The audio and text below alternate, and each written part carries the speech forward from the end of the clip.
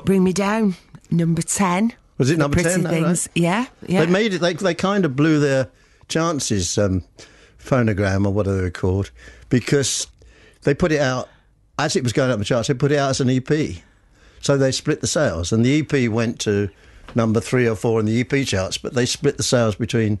You know, they competed with themselves, really. It could have been higher, I think. Well, you've been on a few labels, uh, a Motown label. In fact, you've had some really prominent fans. Dave Gilmour, we'll talk about more in a minute, and the Stones, and uh, Jimmy Page. Obviously, put his money where his mouth was. He signed And, and you. Robert, and yep, yeah, and Robert, Peter Grant. and David Bowie was your fan as well, wasn't he? yes, David. Yeah. Now, tell us uh, why he had your phone number and why it said God next to it. It was just very embarrassing because um, I didn't mean to embarrass him, but I wasn't going to shout my number out amongst other kids who were standing round. And he had my number, uh, but I, I moved back to my mum or something. I changed it. So I said, Well, give us your book. And he didn't want to give me the book. You know, there's funny little phone books we all have with little lines with the alphabet down one side. And I took it off him. And when I looked, I realised well, he was completely blushing. And it just said my old number, and it said G O D above it. So I didn't say that, I just wrote my new number in and gave it back to him, shut the book and gave it back to him. He, he also covered a couple. did you, you know, flattering? He covered a couple of your songs, didn't he, on the Pin-Ups album? That's right, yeah, he- he covered uh, Rosalyn and Don't Bring Me Down. But Oh You Pretty Things, a song he. Apparently, yeah. I mean, I, I never spoke to him about that, whether that was about us, but um, I, I think I read somewhere in a book saying that he dedicated that, you know, brought that back up as one of his sort of, uh, I mean, influences bad behaviour, I suppose. Where did you get your name from? I know that was from an old uh, blues song, wasn't Well, it's it? Bo Diddley. right. And when we were at art school, I think our first art school dance, when we were really amateur, I think was probably three quarters Bo Diddley songs. And he was probably the first person that kind of blew my socks off. I didn't even want to be a musician, I wa- wa- wanted to paint. And then I kind of got caught up with Dick Taylor and, and Keith Richards in the cloakroom in our breaks. At playing. school. And, and they sort of, Dick said, why don't you sing? I said, well, I can't, I don't sing.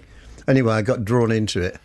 Um, and Dick always said, when the Pretty Thing started, I want to be a, the other guitarist. And he said, uh, we told you we were looking for a singer, but we never were. So this sort of me waiting to be replaced so I could play guitar was never going to happen.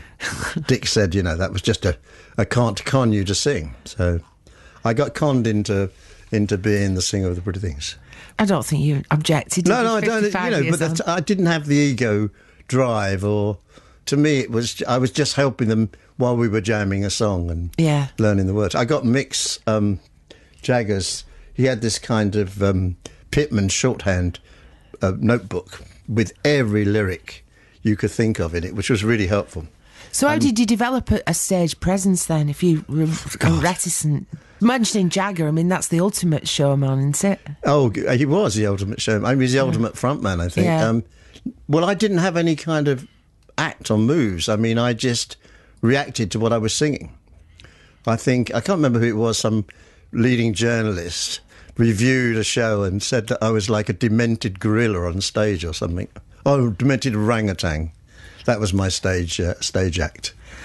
Um, what happened in uh, talking of madness? What happened in um, New Zealand then for you to be?